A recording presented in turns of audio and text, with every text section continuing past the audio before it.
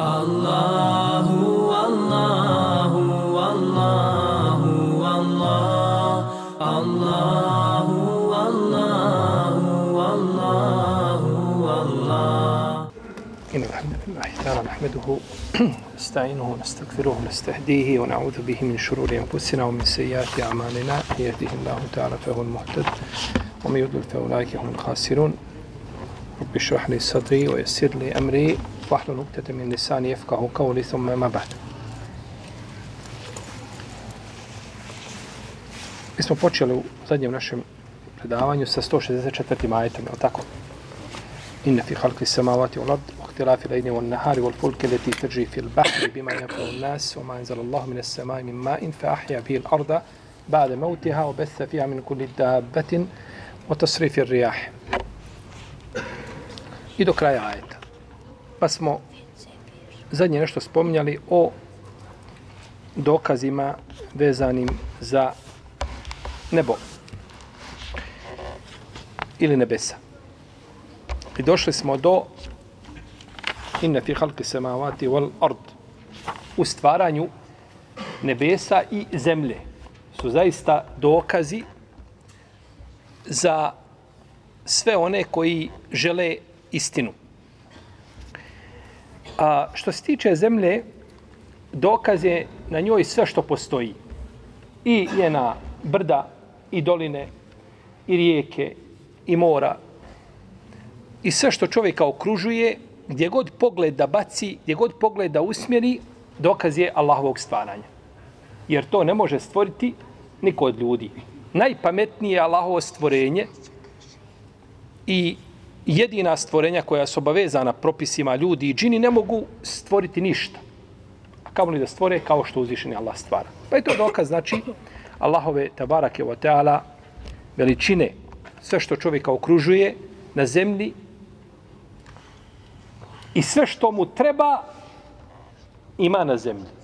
Znači, ne mora ići ni nekakvu drugu planetu da sebi nešto pribavi, da bi mogao normalno egzistirati ovdje na dunjavu.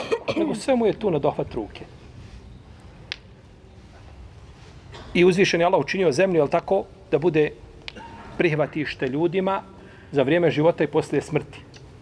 Elem neđale l'arda kifata, ahja'en wa amwata. I mi smo zemlju učinili da bude prihvatište vaše dok ste živi, dok ste mrtvi. Kada ste živi na njenoj površini, a kada ste mrtvi na, u njenoj utrobi. Pa je, ma, pa je zemlja, kako kaže šehol Islaminum Kajim, naša majka. Od nje smo stvoreni, u nju se ponovo vraćamo, iz, nje, će, iz nje ćemo ponovo biti proživljeni, znači ne možemo bez nje nikako. I sjeta, sjećate se, kada smo a, na početku naših predavanja govorili o analogiji kojom se poslužio šetan i rekao da je vatra bolja od zemlje. Kada je pogriješio u ovaj svome kijasu i nakon toga svi oni koji su ga sledili tome. Jeli? Pa daju šeitanu prednost nad pokornosti stvoritelja, pa su odabrali znači da budu bliži znači šeitanu nego da budu melekima.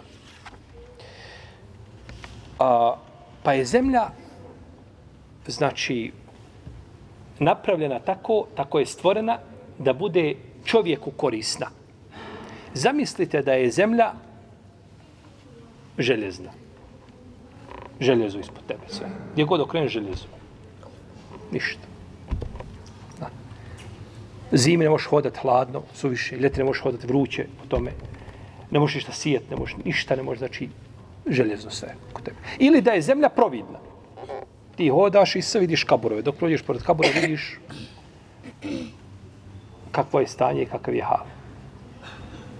Vidiš ispod sebe šta ima možda dole od vulkana, od, od, od ovaj, šta se sve dešava unutar utrobe zemlje. Možda se čovjek ne bi milo nikako da živi. Nego uzvišen je Allah stvorio zemlju upravo onakva kakva treba čovjeku za za život. Pa su u tome, znači, dokazi za razumom obdarene. I ne treba posebno govoriti o dokazima koji su na zemlji. Kako kaže imam Zahebi, kaže a, la yasihu fil adhani shay'un idha ihtaja an-naharu ila dalil. Kaže, razum ne može ništa pojmiti ako dan treba do, dokaz da je dan. Tako je čovjek treba dokazivati, pogledaj živi bio, vidi ovo drvo, vidi ovu planinu, pogledaj oko tebe što te okružuje, da je to dokaz Allahovog stvaranja i da uzviši na najljepše stvara, onda a, je upitan čovjekov razum. U ahtilafi lejli van nehar i u smjeni dana i noći, smjena dana i noći, jedno odlazi, drugo dolazi. I ta smjena biva postepena. Ta smjena biva postepena. Zamisli da dan biva dok biva. Do, I u sekundi noć, mrak. Vidio si sunce, svjetlo i samo sekunda mrak, ništa se ne vidi. Ili obratno, mrak i odjedan put svjetlo ti udari u oči. Kako je napravljena ta smjena dana i noći? I uzvišen je Allah to opisuje u Kur'anu, kaže Juliđu lejle fin nahar, o juliđu nahare fin lejl. Kaže, a, uvlači dan u noć i noć u dan. E kako je upotrebljen izraz uvlači? Znači, jedno se produžava, a drugo se skraćuje. Ali taj prelaz je, ne, ti ne osjetiš taj prelaz, blagi prelaz i pređeš iz dana u noć kao da se ništa ne dešava oko tebe. Tako iz noći u dan. Sunce iziđe, ujutro zora nastupi, sve se vidi, a sunca šta? Ne. Tek onda izlazi sunce. A tako noć, sunce zađe, ti uvijek vidiš, možeš voziti bez svjetala. To je drugo što će biti kažnjen. Međutim, vidiš šta? Vidiš sve. Napravljen je taj prelaz da ti ne osjetiš kao, kao, jel tako, kao čovjek, kao Allaho biće i stvorenje, ne osjetiš nikakvu tegobu u smjeni čega? Dane. Pa jedno se produžava, a drugo se skraćuje po sistemu, znači po, po, po, po pravilniku koga je postavio uzvišeni Allah za ođel i ne može, znači, u tom pogledu biti nikakva, nikakva krnjavo. Znaš tačno kada će biti dan, kada će biti... Zamisli ovako. Ne znaš kada će nastupiti noć. Ne znaš kada će, ni kada će svanuti. Može svanuti u, u pet ujutru, a može u devet. Ti ne znaš kada će svanuti. Kako bi to optrećenje za čovjeka bilo? Ništa planirati, ništa ne može, nego tačno zaši i postavljeno i da, i da to ide, da kažemo, kako kažu, milionima, milijardama godina više, jeli, ovaj, kako historija tvrdi, Allah zna koliko je prošlo, da nikada se nije u tom pogledu desilo ništa. Nikakva greška. Pa nema u Allahovom stvaranju manjkavosti. Tabarake o teana. Noć učinio da se ljudi odmaraju. Po dane se možeš nikako odmoriti. Možeš, možeš spavati dva sata, tri. Ovi koji su ovaj bolje spavalice, četiri sata. Ne možeš nikako, treba noć. I Allah je uzvišen učinio noć da se možeš odmoriti. Tamo da ti imao roletne, tamo da imao da ovaj imao kakve zavijese, one, one, ništa ne koristi nego znači noć je učinio za odmor. I kogod želi da promijeni to, taj sistem, ne može, ne može to promijeniti. I zato čovjek kada radi cijeli život, radi treću smjenu, ne može ga pitati se privikao. Nije se privikao. Cijeli život treća smjena, on se nije privikao. Ne može se priviknuti zato što je to suprotno, on me, ne kaže mi da to je zabranjeno. Radi, Allah te poživio. Nije problem. Međutim, ovaj ne možeš se priviknuti nešto što je suprotno onome što uzdišeni Allah šta stvorio na zemlji, pravilnik koji je uzvišen Allah postavio na zemlju. A, dan, htilafi lejni nahar, dan. Kada u šarijetu počinje dan? Ne mislim na dan zalaskom sunca, novi šarijetski dan, nego mislimo dan kao dan, kada mjerimo dan i noć. Kada bi dan počinjao? Tu je razilaženje među učenjacima. Znači, ulema se je razišla kada počinje dan. Jedni kažu učenjaci počinje izlaskom sunca. To je dan. Sve do izlaska sunca se ne računa, računa se šta? Noć. Iako je malo svanula, međutim računa se šta? Noć. Kao postaje zalaska sunca ti vidiš, još uvijek se vidi, ima svjetla, ali je šta? Noć. Tako kažu ujutro isto. Drugi učenjaci kažu ne, dan nastupa nakon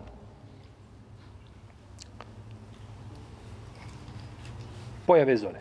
Pojave prave zore. Pa je tu znači razilaženje među učenjacima. Allahu alem da je ispravnije mišljenje da nastupa dan pojavom zore. Jer uzvišen Allah kaže u Kur'anu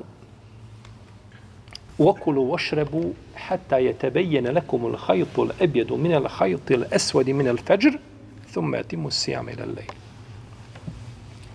I jedite i pijte dok ne budete mogli razlikovati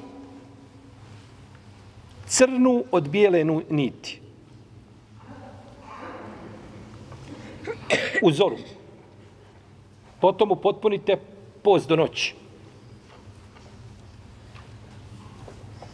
Kada je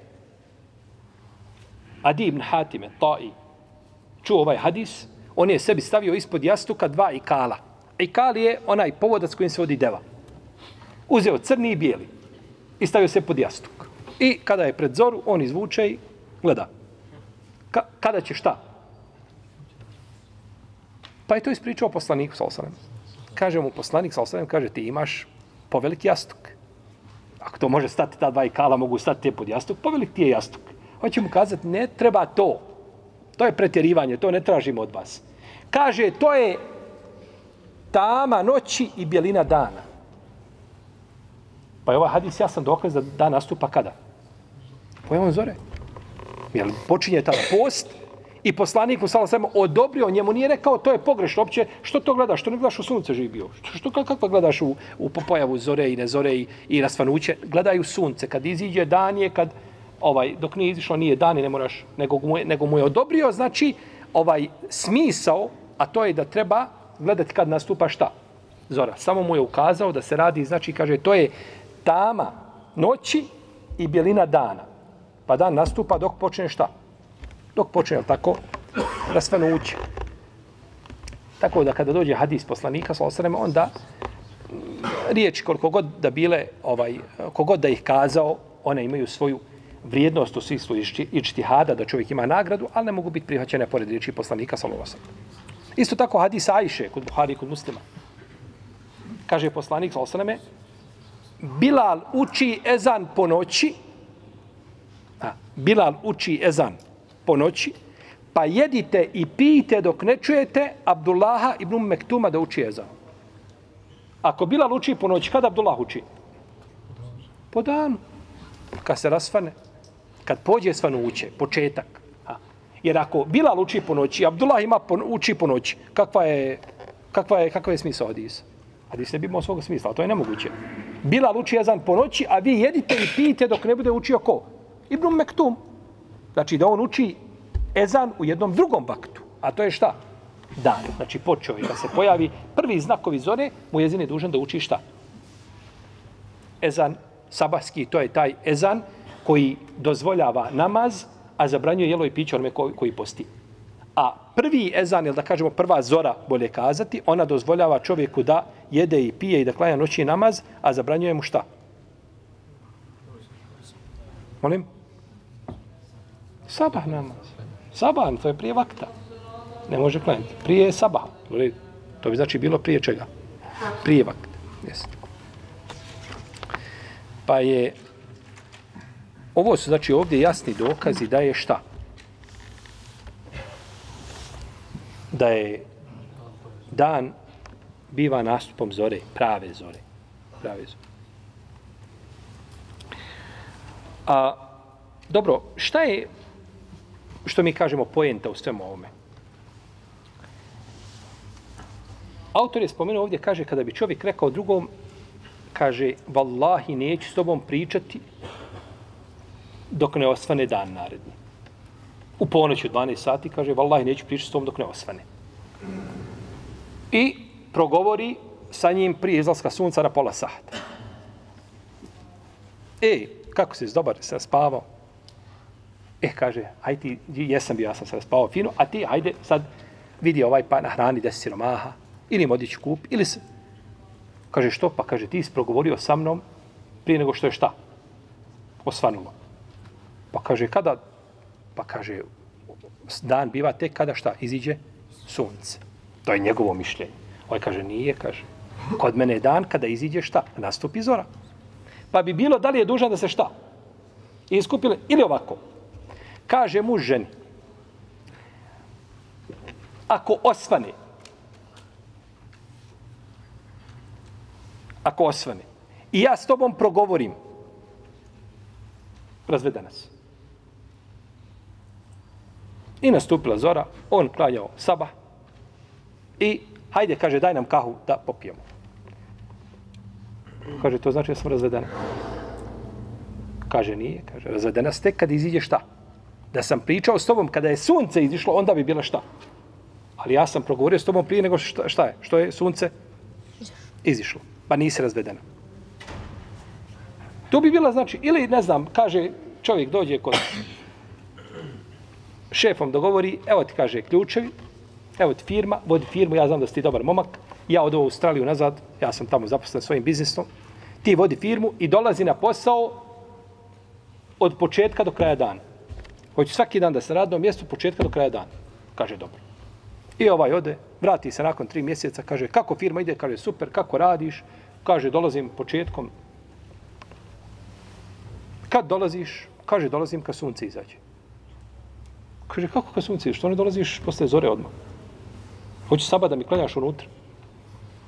Pa se razišli oko čega? Znači, pitanja bi se bilo vezana kada počinje početak dana. Što bi bilo, znači, sve ovaj utjecalo na propis. Šta je ispravno? Šta smo kazali? Da počinje zorom. Yes. Zorom počinje novi dan.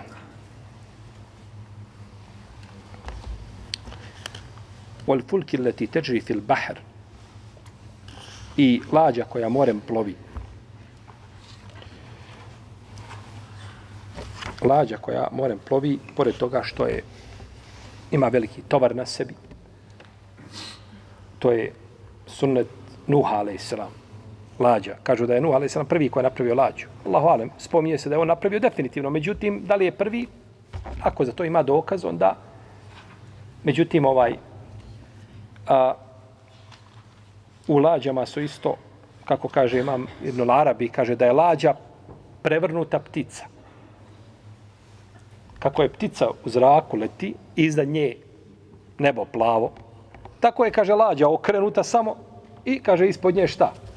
More. Plavo. Pa je u lađama znači isto pouka za ljude koje plove morem. I u ome ajetu je i njemu sličnim ajetima je dokaz da je dozvoljeno koristiti znači more da čovjek plovi po moru. Bilo da se radi o ibadetu, da ide da obaje određeni ibadet, poput hađa i umre, bilo da ide radi trgovine, radi bilo koje druge koristi, nije znači problematično. Uh, ima hadis koga bilježe sabirači sunena, od Ebu Horeira radijallahu ta'ala anhu i ga ima Mahmed ibn Hibban i drugi hadis je ispravan da su ashabi kazali poslaniku sa osvame, kaže Allahu poslanice mi plovimo morem. I često imamo sa sobom malo vode. Kaže ako budemo abdestili s tom vodom kaže bićemo žedni. Možemo li kaže abdestiti morskom vodom? Pa je rekao poslanik sa osvame, huwa tahuru ma'uhu el-hilu mejtetom kaže, more, njegova voda je čista, a ono što nađete a, mrtvo u moru, to je halal da pojedete. Pa im je odgovorio više nego što su pitali. Oni su pitali samo za abdest.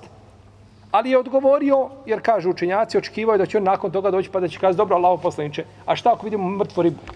Možemo li pojesti? Pa im je odgovorio unaprijed za ono što će šta? Za ono što će možda nakon toga pitati što će i biti znači jel naredno pitanje. Neki učenjaci kažu da je da je ovaj hadis da je u stvari a, pola znanja. Kažu jer znanje je vezano za kopno i za more.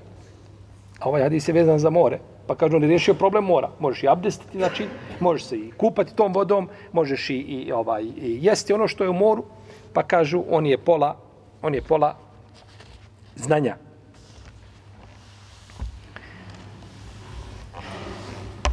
Kaže ovdje autor i hadis Enesa ibn Malika u priči u Muharam. U priči u Muharam. Kaže koga bilježe imami. Tako je spomenuo hadis. Ponekad učenjaci spomenu hadis zato što je on poznat među ljudima. Tako. Pa samo ti kaže hadis Omara. Ha. Mi govorimo o nijetu i kažemo hadis Omara je dokaz, je tako? I nemela malo bi nijat, je tako? Pa, kaže ovdje autor, hadis Umu Haram, koga bilježe imami. Bilježe ga Buharija i Muslim i ostali. Ali nije spomenuo hadis. A radi se o hadisu da je poslanik, sa osvijem, dolazio kod Umu Haram, kada bi išao u mesečedu Kuba, on bi prolazio pored njene kuće. Ona je bila žena u Bade ibn Samita. Pa bi prolazio pored njene kuće i uša svratio bi kod nje. I ospavao bi kod nje, malo pojeo nešto i nastavio dalje ići u Kuba. Pa je legao jednog dana da spava kod nje, pa je ustao i osmijehiva se, smije se, smješka se. Pa kaže, Allah poslaniče, kaže, što se, kaže, smiješ? Kaže, usnio sam, kaže, a moje ashabe kao borce na Allahovom putu, kaže, putuju morem kao kraljev na prijestoljima. Kaže, Allah poslanič, kaže, dovi Allaha da ja budem od njih. Dovi Allaha da ja budem od njih. Pa je dovio. Pa je opet legao, namjestio sebi jastuk i ponovo zaspao. Pa se nakon toga promijenio i ponovo, pa, probudio i ponovo se smješka. Sallallahu ala rasulillah. Kaže, Allah poslanič, kaže, što se smiješ? kaže, ustio sam, kaže, moja sahabe, kaže, plove morima kao borci na Allahovom putu izgledao kao, izgledaju kao kraljevi na prestoljima. Kaže Allah poslaniče, dobi Allah da ja budem od njih. Kaže, ti si među prvima.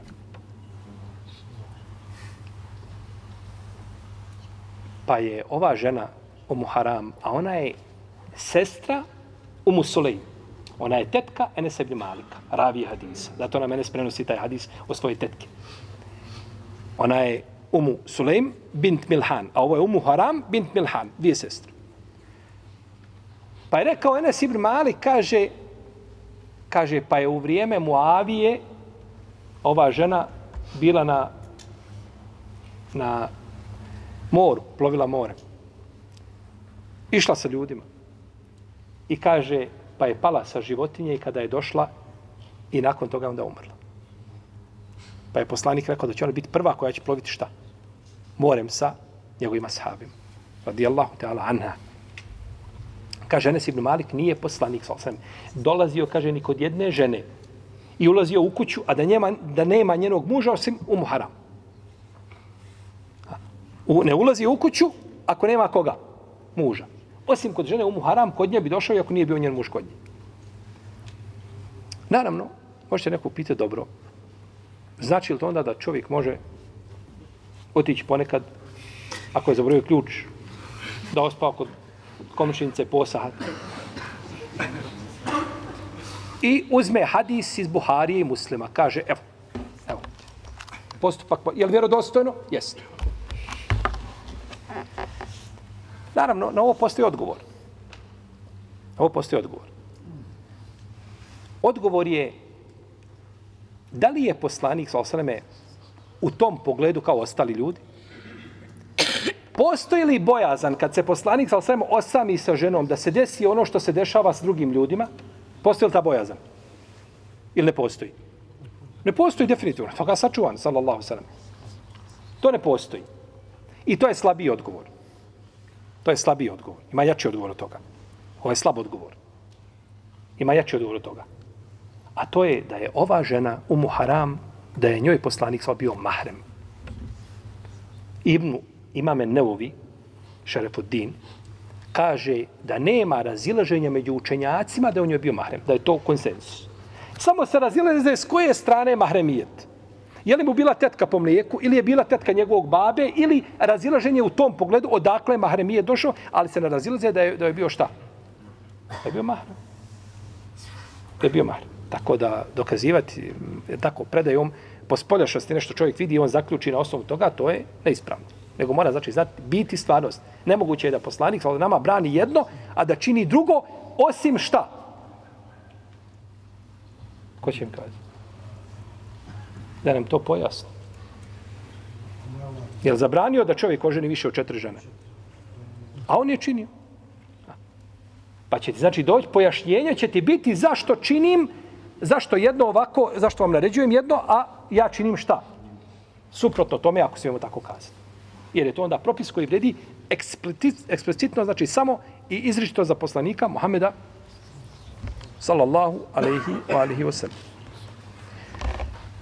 Naravno, uh, more, more je priča za sebe. O moru su govorili islamski učenjaci puno i o propisima koji stiču mora. Znači, o raznoraznim propisima su govorili vezanim za more, ovaj, a, jer ljudi su tada putovali, putovali su kako su putovali, zamislite onda kakva je danas potreba da znaju šta te, te iste, znači, jeli, propise. Pa su govorili od propisa mora, kažu, putuju ljudi lađom. Danas se putuje drugačije sve, je tako? To je sve ovaj uređeno kraljevski. Ljudi putuju morem i putuje se po, po mjesec, po dva i neko umre na lađi. Šta ćemo s njim? Šta ćemo s čovjekom koji umro na lađi?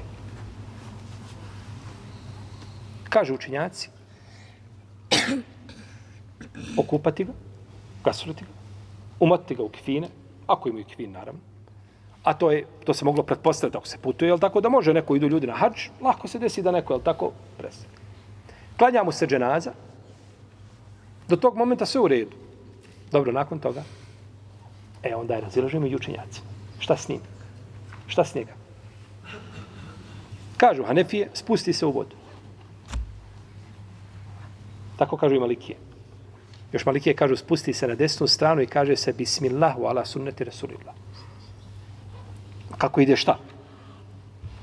Kabor. Nisu ni to zanemarili islamski šta? Činjaci. Nego po sunnetu, ja nemam gdje da ga ukopam.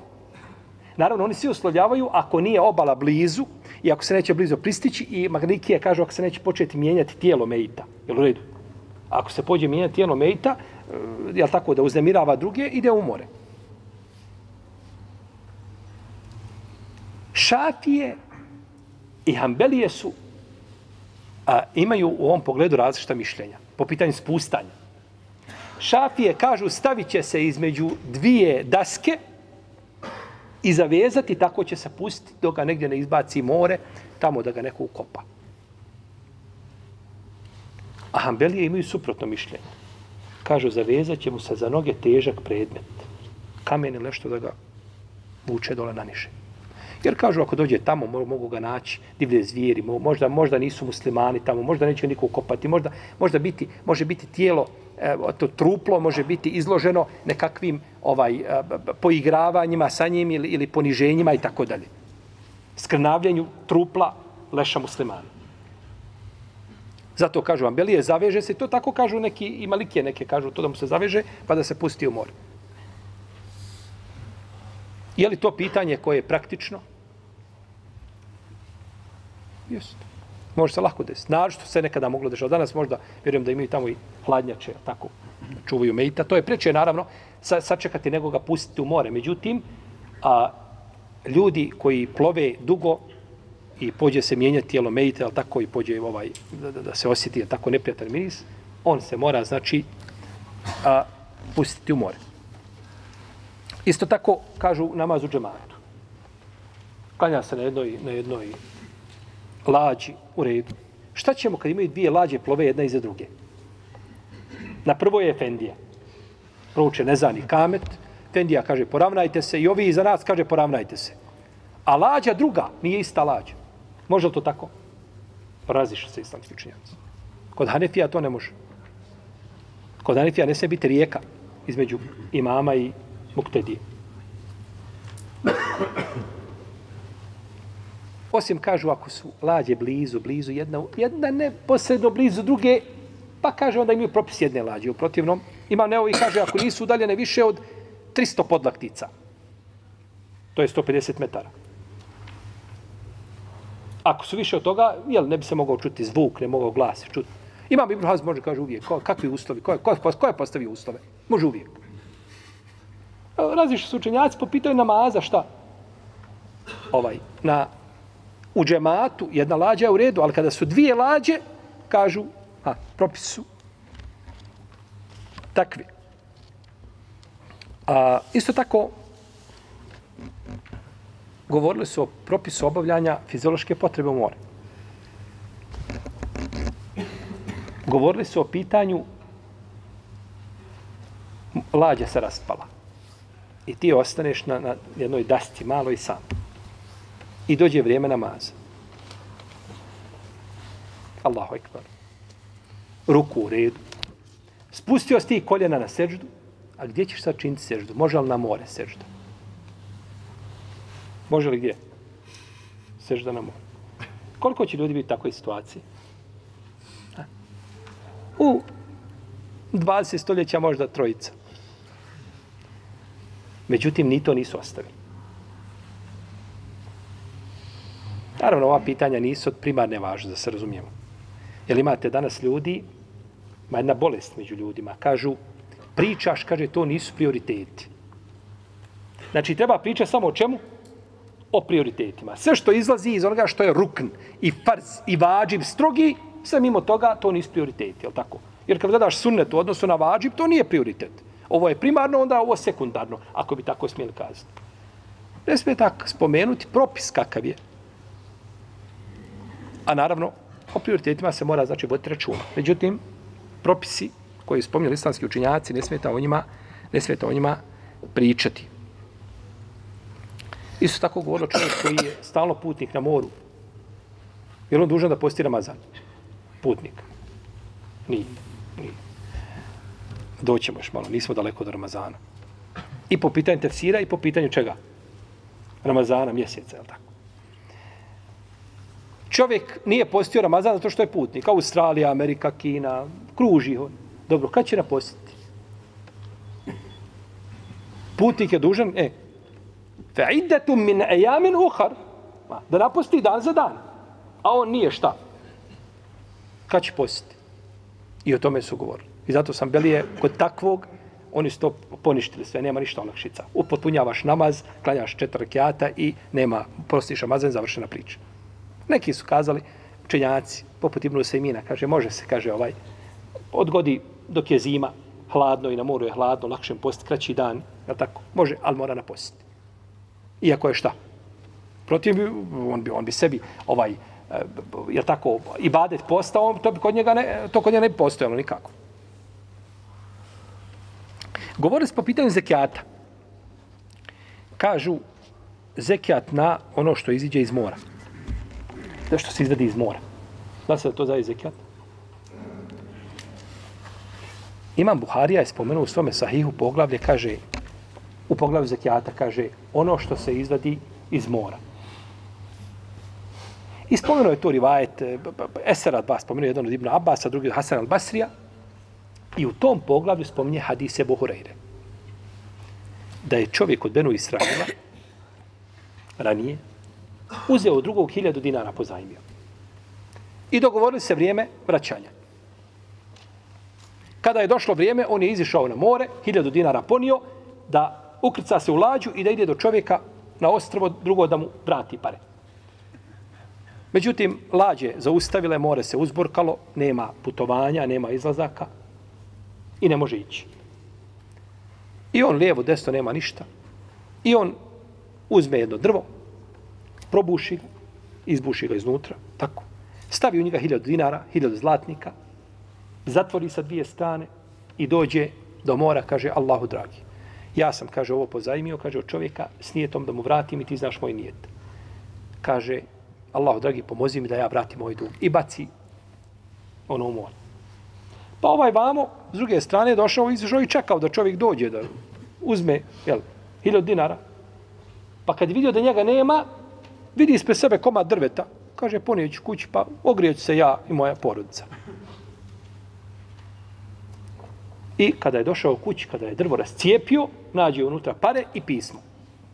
Ja sam taj i taj. Pa onda nakon toga on je njemu, e, kaže se, došao s drugim parama, pa je ovaj rekao, jesi ti meni šta poslao? Uglavnom, priča. Kažu neki imam Buharija je spomenuo ovaj hadis u poglavlju zekijata na ono što se iz, izvadi iz mora, a to nikakve veze nema s ovim če, poglavljem. Pa nema veze između poglavlja koga je naslovio i čega? Hadisa koga je stavio, jer ima Buharija kada stavi određeni hadis, određeno poglavlje, to poglavlje mora biti vezano za hadis i hadis za poglavlje. Ha. Jer on iz hadisa izvuče šta? propis pa na tako naslovi poglavlje. To je fikh imama Buhari u njegovom sahihu. Kažu, imam Buharija je spomenuo hadis koji nema veze s čime? S poglavljem koga je naslovio. I kaže, ovo je jedan od propusta imama Buharije. Međutim, imam Buharija je čudan čovjek. Čudan učenjak. Kada bi ti neko rekao, gdje kaže suprot onome što je Buharija rekao?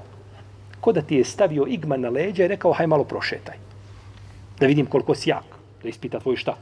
Snagu. Jesi ti toliko jak da ti se suprostaviš Buhari? Njegovi zaključci, to je samo dar od uzvišenog Allaha. Nije ovo Buharija spomenuo tek tako. Imam Buharija ovo spomenuo u svome sahih, hoće kazati ono što se nađe u moru. To bi bila riznica. Na to se daje petina. 20% ide na to. Kaže, ovaj čovjek je našao nešto i nije na to, ono će ovim hadisom dokazuje da nije dužnost da se plaća na ono što se izvedi iz mora i što nađeš u moru kao riznicu, ne moraš na to davati petinu, što bi morao uraditi šta? Na, da se našao na kopu. Pa izvukao, znači, propis koji ne može nego neko poput Buharije. I onda taj hadis uvrstio, jer nije imao hadisa, šta? Jačeg i jasnijeg od, od toga. A iz tog hadisa se to može zaključiti, može se razumijeti. Pa su islamski učinjaci, znači, govorili o, o, o propisima vezanim za, za, za more, eh, znači, eh, svega ista čega. Znači, knjige Fika su pune o tome kako da se ljudi ponašaju šta na moru i kako ka, kakvi propise znači vežu za more. Uglavnom nije to naš ovaj nije to cilj našeg predavanja, međutim da samo ukažemo da a, kada je uzvišen Allah spomenuo more, a, u vezi s tim postoje znači ovaj postoje a, a, postoje razlozi zbog čega je to uradio. A,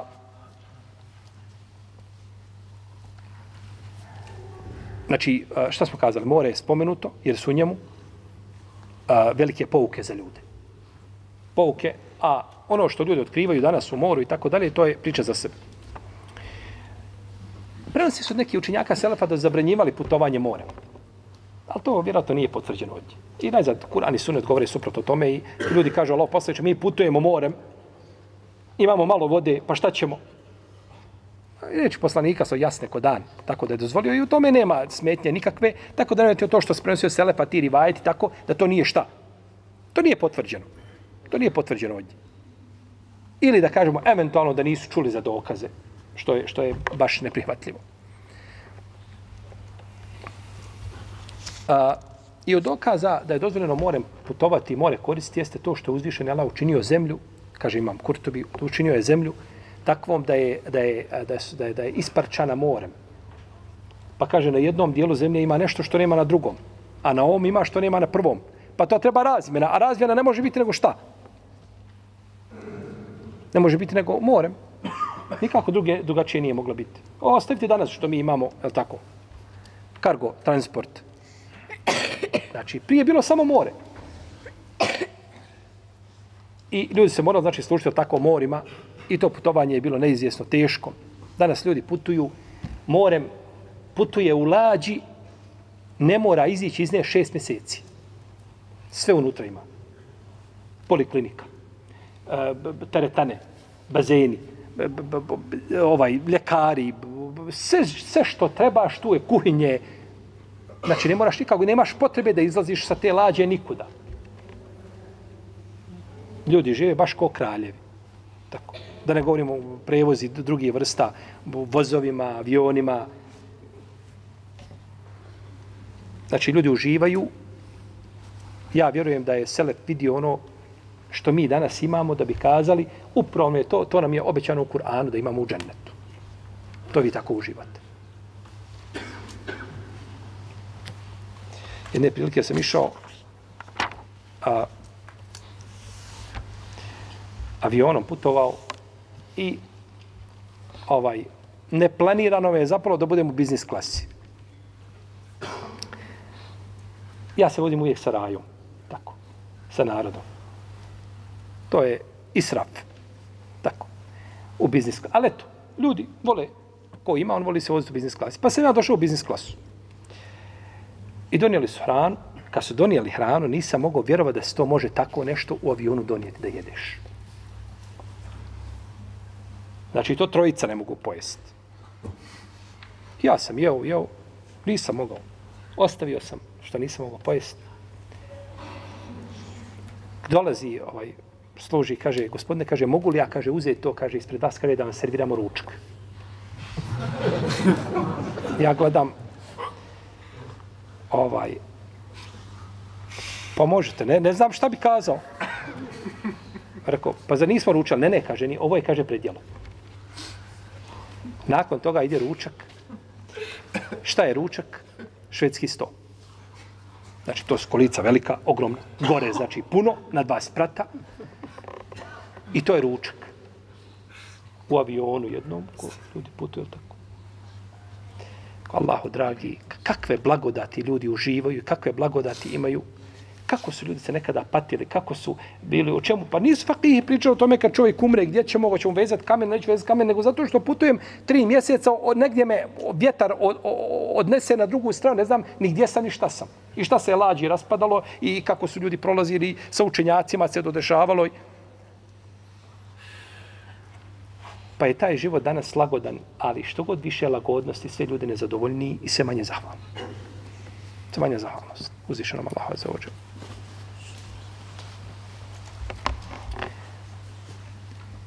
Dobro.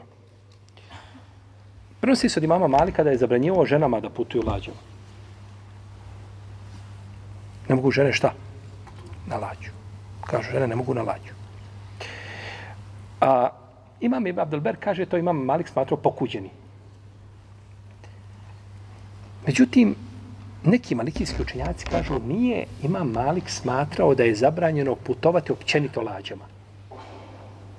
Nego lađama, kaže, koje izbile bili siđaza, koje izbile male, lađa 5 sa 2, 10 kvadratnih metara, na njoj 20 ljudi, 30 ljudi.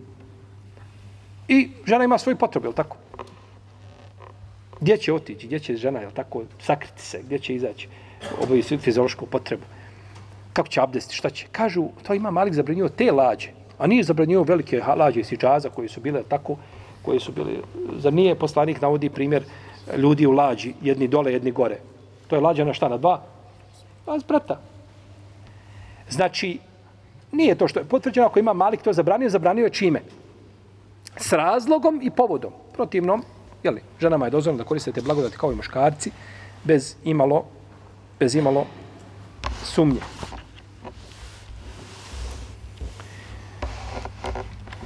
Nema razilaženja među islamskim učinjacima da je da je zabranjeno putovati morem, kretati kada su valovi, znači veliki, kada je more uzburkano i postoji velika opasnost da bi mogli ljudi biti uništeni. Tada je zabranjeno ići. Za razliku toga kada čovjek krene ne zna kako je, pa se desi nešto, desi se. Ali da krene on, što mi kažemo, u smrti ili ide tamo gdje je opasno, to nije dozvoljeno. Nego mora sačekati. Naravno, kako napreduje ova, je tako, ovaj, e, tehnologija i kako napreduje i ovaj e, e, ta, ta industrija, ovaj, sve je manja opasnost. Međutim, nije to, je tako, isključeno, a da uvijek može biti, ali, problema. Bima jemfe u nas i ono što ljudima korisa. Krovi koristim tovarima se prenose. Koliko je korisni tovara prebačeno s jedne s jednog kraja Dunjaluka na drugi? Ha. Zamislite, koliko je korisni tovara i, i robe prebačeno. Koliko je samo droge prebačeno? To korisna roba. Pa jeste, kako nije korisna roba? Za onome koje sije i koje prodaje i koliko igra se ljudskim razumima, svakako da mu je korisna roba. Dok se drugi time ubija. Pa to sve blagodati uzvišenog Allaha za uđel, da se znači to prebacuje s jednog mjesta na drugo. Oma enzal Allahu mine sema i min ma i što je uzvišeni Allah objavio, e, objavio, što je uzvišeni Allah spustio a, s neba misleći na kišu. Misleći na kišu koja tako oživljava mrtvu zemlju i kako je došlo fesken nahu fil ard i zadržava je na zemlji Jer zemlja, zemlja imamo tri vrste zemlje, al tako? Kako došlo od Iskod Buhari kod muslima, od Ebu Musa Lešarja. Da je poslanik rekao sa osram, kaže imamo tri vrste zemlje. Imamo, kaže, zemlju koja padne kiša i ona daje rastinje. Imamo, kaže, zemlju koja ne daje rastinje, ali, kaže, zadržava vodu, pa i ljudi mogu koristiti. Imamo treću koja upija, a ništa ne rađa. Kaže, takvi su ljudi po pitanju, kaže, objave i upute i znanja kojim sam ja došao. Imate one koji nauče i druge podučavaju. Imate onoga ko nauči i drži za sebe praktikuje. Hajri berek, u jednom i u drugom. A imate onoga trećeg, najgoreg, on niti, niti uči, niti praktikuje, ništa. Takvi su, pa, pa je uporedio ljude čime s vrstama zemlje. Imate, znači, zemlju, ponekad zemlja zadrži vodu i tu vodu, jel tako, ljudi koriste. I pa mi opet tu blagodat, ne znamo kad ti uvijek odvrćeš, jel tako, odvrneš curi dok zavrneš, jel tako, tu je voda, sve na mjestu, ne moraš nigdje izlaz napolje. To nekada nije bilo tako. Ljudi se patili na razorazne načine. Pa ne samo ovaj naše generacije prije nas, dvije ili tri generacije prije nas, ovaj imali su svi ti, znači imali problema dok nije došao ovaj vakat, jel tako, kada ljudi žive kao, kao kraljevi. Obetca fiha min kulli dabbe. I on je raznorazne životinje po njoj a, rasijao. A, neki kažu učenjaci da ovdje misli se na raznorazne životinje, da be sve što se miče, sve što je živo. Pa i čovjek ulazi u jednom širom, širom smislu u to. U to značenje. Kaže, samo ovdje ptice ne ulaze u to. Jer one se ne miču, one šta? Lete. Međutim, to nije ispravno. Jer uzvišen je Allah zuđel kaže Oma min dabetin fil ordi illa ala Allahi rizkuha. Nema ni jedne dabe, ništa što se miče, a da kaže Allah ga ne obskrbljuje. Obskrbljuje ono tice. Kako ne? Po jutro idu prazni stomaka i na večer se vraćaju kako? Puni, jel tako? Uzvišen je Allah i obskrbljuje, jel tako? Pa je to, ovaj, u svemu tome dokazi su, znači, za razumom obdane. Šehul Islam ibnul Kajim, ima dijelo koje se zove Miftahu Dari Saade. Miftahu Dari Saade. Ključ kuće sreće. U tom svome dijelu, ja sam donio da vidite, ovaka, ovakva tri toma je štampana ta knjiga. Ovo je drugi dio. U njemu je govorio o ovom momentu kome mi pričamo, o dokazima. Spominjao je dokaze u Allahovom stvaranju. Pa je spomenuo dokaze u sljedećem. Ja ću vam samo nabrojati, ja sam sebe ovdje napisao kratko. U kapi sjemena iz koje je čovjek stvoren. Zemlja, noć i dan, mora, a, vrste životinja, a, nebo, sunce, mjesec, svjetlo, sazvježđa, toplota, hladnoća, vatra, brda, voda, zrak, kiša, rastinje, drveće, a, orakove, ove, lišće, a, žirapa, a, mrav, a, ptica i njena građa, a, stvaranje jajeta, a, a, palma i, i palma i med, a, E, stoka i ono što je u njihovim stomacima, kako dolazi do mlijeka, a, ribe, e, nar, a, vrste zuba kod životinja,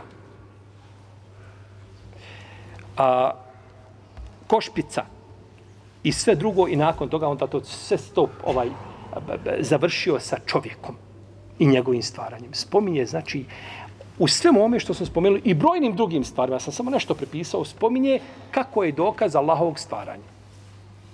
Da je uzvišen Allah najbolji, najljepši stvoritelj i jedini stvoritelj. I zaista ko čita, ja sam predlagao jedne prilike jednom našem bratu da se ova knjiga prevede, međutim bila bi teška za prevesti. Ima poglavlja koje bi jako teško bilo prevesti. A, to je samo u ovom drugom poglavlju spominjao u vezi s ovim. Ja ću vam sad pročitati kako da vidite šta je spominjao Ibnul Kajim po pitanju a,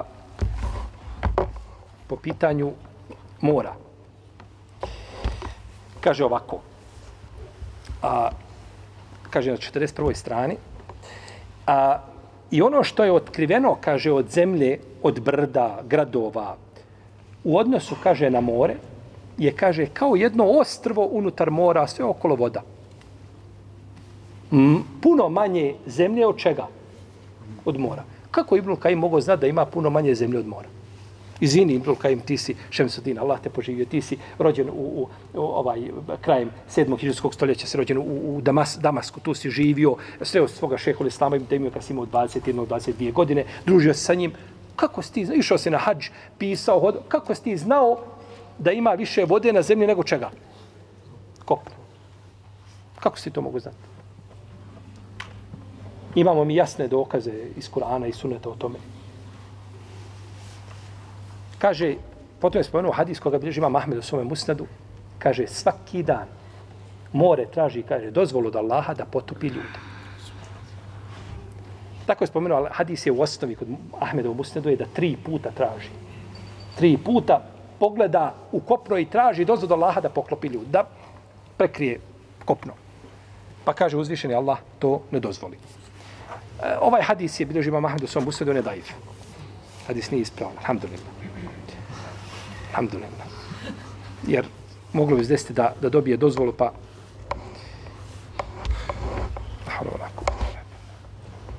Kaže Ibn Kajim dalje i dokaz su, kaže, lađe koje plove, kaže, nemaju, kaže, one upravljača, nemaju ništa, nema, nije bilo kormilara nekada ako danas, pa da on može, tu vjetar kad te ponese, on tebe odnese. A, ti ne možeš ići nego u tom smjeru. Pa je, kaže, u tome je svemu dokaz, Jer uzvišen Allah kaže u min ajatih il džavari kel bahri kel a'lam i od njegovih dokaza jeste, kaže, lađe koje kao brda plove morem. Mi mislite mi to treba biti tako, ali tako gore lađa, ona je šuplja, to nešto treba biti, treba zato što uzvišen Allah hoće tako. Ptica nije u zraku, nego zato što uzvišen Allah hoće. Ma yumsiku hunna illa rahman. Samo milostivi je drži niko drugi. Ma, ma, u redu šuplje kosti, sve, sve je to Allah tako stvorio da bude zbog toga. Ali uzvišeni Allah drži kao i nebesa što drži da se ne, ne sruče na zemlji. Pa je, kaže uzvišeni Allah uzuđel, in je še, kaže, in je še, juskini rijah, fe je zalne revakide ala zahri. Kaže, kad bi Allah htio, kaže, on bi, kaže, umirio more, ne bi bilo vjetra, kaže, pa bi ostale na površini, nije, ne može niko da biće što šest mjeseci. Nikud pomoć ne može nego stalo, znači ljudi, niko nije rekao stalo je more i tu su ljudi pomrli na moru. Nego uzvišen Allah daje, znači vjetar, da ljudi se mogu koristiti njime da prelaze s jednog kraja na, na drugi. I kaže, potom Ibn Kajim kaže, i kaže, ovaj, kaže, u, u, kaže, ajeti u moru, kaže, puno veći od toga da i može pobrojati bilo koji ljudi, samo uzvišeni Allah. Kao da je živio u našem vremenu, kao da je saznao nešto ti otkrića, šta ima, jel tako, more tame. Uh, ke bahrin luđijin jak šahu meuđun min feukihi, meuđun min feukihi, sehabun, zulumatun, ba'duha feuka ba'du. Uzvišeni Allah kaže da su u moru, da su tame jedna iza drugih. Pa to danas otkrivaju, moraju životinje koje dole žive, mora imati, jel tako, mora svijetliti sebi da mogla vidjeti, jel tako, da živi. Pa su u tome veliki, znači, ovaj ajeti ljudima. Spominjaju druge stvari, Ibn Kajim, u ovoj zaista zanimljivoj knjizi, kaže, ovdje je spominjao a, vezano za za slona. Ne za slona, nego za surlu slona. Kaže, slon ima surlu. Kaže, i kaže, kaže, to je, to je, to je od Allahovi, kaže, ajeta. Sudla ta, kaže, umjesto ruke ako čovjek. Da nema sudle, ništa, da bi mogao... I kaže, pogledajte stvarne njegove građe, da nema surle. On kaže, nema vrata nikako. Kako bi se on mogao sagnuti da nešto uzme sa zemlje? Ne može. A da ima vrat dug poput žirafe, glava mu je toliko teška da bi mu borla, oborla mu glavu i uvijek glava bila na zemlji. Tako. To bi lav jedno dočekao. Znači, on, on ne može dići. Pogledajte žirafe. Koliko vrat ima dug, a kako je glava malo vreća od ljudski, je tako? A tako isto je deva. Zbog dugog vrata.